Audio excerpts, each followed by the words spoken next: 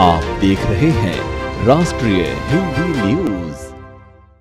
नमस्कार, आप देख रहे हैं राष्ट्रीय हिंदी न्यूज़ और मैं राजकिरण हूँ आपके साथ। चलिए एक नज़र डालते हैं देश विदेश की कुछ खास खबरों पर। जंतर मंतर पर पहलवानों का विरोध प्रदर्शन समाप्त हो गया है। डब्ल्यूएफआई अध्यक्ष ब्रिजभूषण शरण सिंह के विरोध में यह प्रदर्शन चल रहा था। भारतीय ओलंपिक संघ के बाद अब खेल मंत्रालय ने भी पहलवानों के आरोपों की जाँच के लिए कमेटी गठित कर दी। आपको बता दें कि चार हफ़्ते में खेल मंत्रालय की कमेटी जाँच रिपोर्ट दे देगी, लेकिन जाँच पूरी होने तक ब्रिजभूषण डब्ल्यूएफआई के कार्यों से दूर रहेंगे। साथ ही आपको बता दें कि रेसलिंग फेडरेशन ऑफ़ इंडिया अध्यक्ष ब्रिजभूषण शरण सिंह पर महिला पहलवानों के साथ यौन शोषण, मानसिक रूप से परेशान करने समेत कई आरोप लगाए गए थे। और पहलवानों ने खेल मंत्री अनुराग ठाकुर से बातचीत के बाद इसे वापस लेने का ऐलान कर दिया। खेल मंत्री अनुराग ठाकुर और पहलवानों की बातचीत करीब सात घंटे तक चली। खेल मंत्री अनुराग ठाकुर ने कहा कि पहलवानों की बातें सुन ली गई हैं। उनकी आर, उनके आरोपों और मांगे भी सुनी गई उन्होंने कहा कि पहलवानों की ओर से आरोप लगाए जाने के बाद ही हमने डब्ल्यूएफआई को नोटिस भेजकर बहत्तर घंटे के भीतर जवाब देने के लिए कह दिया था। खेल मंत्री ने कहा कि सर्वसम्मति से निगरानी कमेटी के गठन का फैसला लिया गया है, जिसमें कौन लोग शामिल होंगे, इसका ऐलान भी कर दिया जाएगा उन्होंने कहा कि यह कमेटी चार हफ़्ते में डब्ल्यूएफआई अध्यक्ष पर लगे आरोपों की जाँच कर अपनी रिपोर्ट सौंप देगी। खेल मंत्री ने यह भी कहा कि जाँच पूरी होने तक डब्ल्यूएफआई अध्यक्ष संघ के दैनिक कार्यों से दूर रहेंगे, लेकिन वे जाँच में सहयोग करेंगे। ब्रिजभूषण शरण सिंह ने उधर इस पूरे विवाद के बीच साफ़ कर दिया था कि वे इस्तीफा नहीं देंगे। इस पूरे मामले को लेकर वह 20 जनवरी के दिन प्रेस कॉन्फ्रेंस करने वाले थे।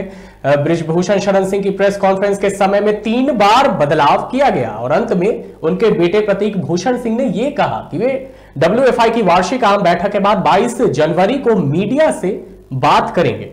और बढ़ते हैं अगली खबर की तरफ़। बागेश्वर धाम के पीठाधीश पंडित धीरेन्द्र कृष्ण शास्त्री के समर्थन में नेता राजनेता भी आने लगे हैं। बीजेपी के वरिष्ठ नेता कैलाश विजय वर्गीय ने उन पर लगे आरोपों को गलत बताया है। उन्होंने धीरेन्द्र शास्त्री पर अंधश्रद्धा उन्मूलन समिति द्वारा लगाए गए आरोपों को मिथ्या बताया है। बीजेपी नेता ने कहा कि मैंने उनका इंटरव्यू देखा है। उन्होंने कहा है, यह मेरा चमत्कार नहीं है, यह मेरे ईष्ट का चमत्कार है। मुझे हनुमान जी और सन्यासी बाबा पर विश्वास है। सब कुछ उनकी कृपा से ही होता है, मैं तो कुछ भी नहीं हूँ। मैं तो उनका छोटा सा साधक हूँ, इसलिए उन पर इस तरह के आरोप लगाना मिथ्या है। सनातन धर्म में, उनके जैसे बहुत सारे लोग हैं। उन्होंने कहा कि जावरा दरगाह में लोग ज़मीन पर लौटते पीटते हैं, लेकिन इस बारे में कोई बात नहीं करता। क्या किसी ने जावरा पर सवाल किया है? और एक हिंदू महात्मा के सामने इस तरह की घटना होती है तो प्रश्न चिन्ह क्यों उठता? है तो वही मशहूर कथावाचक आचार्य धीरेन्द्र शास्त्री ने एक दिन पहले अपने ऊपर लगे आरोपों पर सफ़ाई दी। हम अंधविश्वास नहीं फैला रहे। हम इस बात का दावा नहीं करते कि हम कोई समस्या दूर कर रहे मैंने कभी नहीं कहा कि मैं भगवान हूँ। उन्होंने कहा कि हमारा डिस्क्लेमर है कि हम कोई संत नहीं है। उनका कहना है, मैं नागपुर से नहीं भागा। यह सरासर झूठी बात है। हमने पहले ही बता दिया था कि सात दिन का ही कार्यक्रम होगा। इसके बाद उन्होंने कहा कि जब मैंने दिव्य दरबार लगाया था, तब शिकायत लेकर क्यों नहीं आए ये छोटी मानसिकता के लोग हैं और हिंदू सनातन के विरोधी हैं। अगली खबर की तरफ़ रुख करते हैं। बर्फबारी ने जोशी मठ में बढ़ाई दुश्वारियाँ। दरारों में पानी रिसने से भू धसाव की आशंका होने लगी है।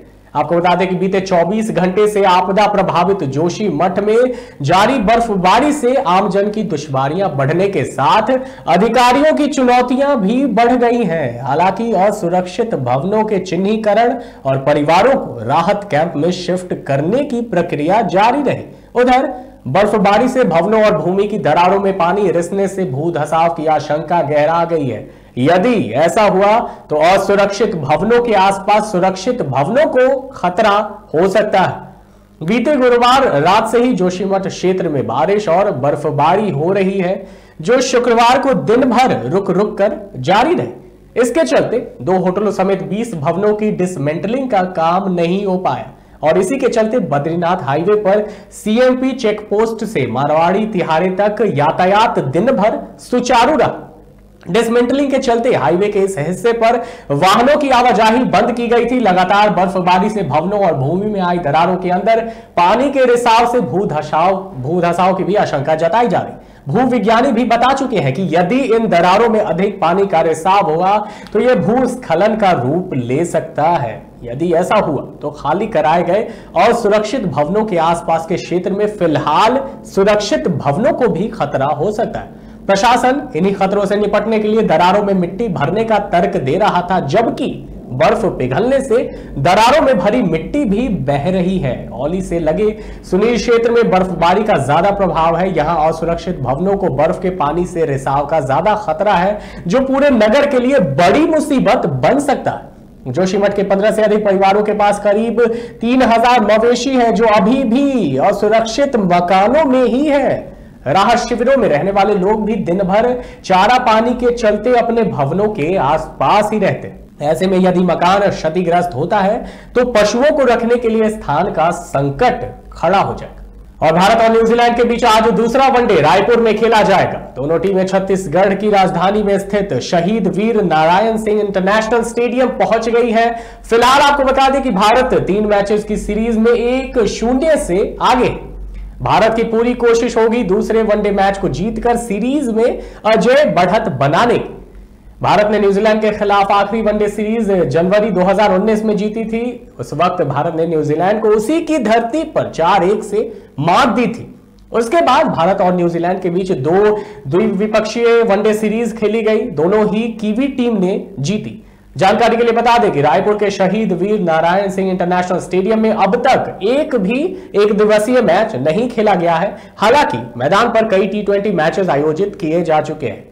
उन मैचेस के अनुसार बात करें तो ये पिच बल्लेबाजों के लिए स्वर्ग साबित हो सकती है। टी ट्वेंटी मैचेस में यहाँ पहली पारी का औसत स्कोर 170 है। दूसरी पारी में यह पिच धीमी हो जाती है, जिससे स्पिनरों को इस पिच से काफ़ी मदद मिलती है। वहीं अगर रायपुर के मौसम की अगर बात करें तो छत्तीसगढ़ राज्य के मौसम विभाग के अनुसार मैच के दिन ठंड में बढ़ोतरी हो सकती है।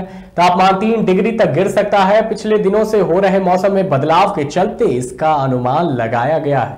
19 जनवरी को सुबह से ही आसमान में बादल छाए थे। इसे देखते हुए अनुमान लगाया जा रहा है कि 22 जनवरी को दोपहर के बाद शाम को ठंड बढ़ सकती। आपको बता दें कि मैच एक बजकर तीस मिनट से शुरू होगा। अगली खबर की तरफ़ चलते हैं। मॉस्को गोवा फ़्लाइट को मिली बम से उड़ाने की धमकी। विमान को उज्बेकिस्तान किया गया डाइवर्ट। मॉस्को से गोवा जाने वाली फ़्लाइट को बम से उड़ाने की धमकी मिली। जी हाँ, एक वरिष्ठ पुलिस अधिकारी ने बताया कि विमान को सुबह सवा चार बजे दक्षिण गोवा के डाबोलिम हवाई अड्डे पर उतरना था। मॉस्को से गोवा जाने वाली फ़्लाइट को बम से उड़ाने की धमकी मिली है, जिसके बाद इस प्लेन को उज्बेकिस्तान के लिए डाइवर्ट कर दिया समाचार सूत्रों के अनुसार रूस की राजधानी मॉस्को से 240 यात्रियों को लेकर गोवा जा रहे एक चार्टर्ड विमान में शनिवार तड़के बम की धमकी मिली। इसके बाद विमान को उज्बेकिस्तान की ओर मोड़ दिया गया। पुलिस ने इस बात की जानकारी दी एक वरिष्ठ पुलिस अधिकारी ने बताया कि विमान को सुबह सवा चार बजे दक्षिण गोवा के डाबोलिम, हवाई अड्डे पर उतरना था। उन्होंने कहा कि अजूर एयर द्वारा संचालित फ़्लाइट को भारतीय हवाई क्षेत्र में प्रवेश करने से पहले ही डाइवर्ट कर दिया गया। अधिकारी ने कहा कि डाबोलिन ने हवाई अड्डे के निदेशक को बारह बजकर तीस मिनट पर विमान में बम लगाए जाने के बाद एक ईमेल प्राप्त हुआ था, जिसके बाद विमान को डाइवर्ट किया गया। बता दें कि यह घटना ऐसे समय हुई है जब मॉस्को से गोवा जाने वाली एक उड़ान में पिछले हफ़्ते ही बम से उड़ाने की धमकी मिली थी, जिसके बाद मॉस्को गोवा फ़्लाइट की गुजरात के जामनगर हवाई अड्डे पर आपातकालीन लैंडिंग की गई थी। फ़िलहाल के लिए इतना ही, आप बने रहिए राष्ट्रीय हिंदी न्यूज़ के साथ। जय हिंद।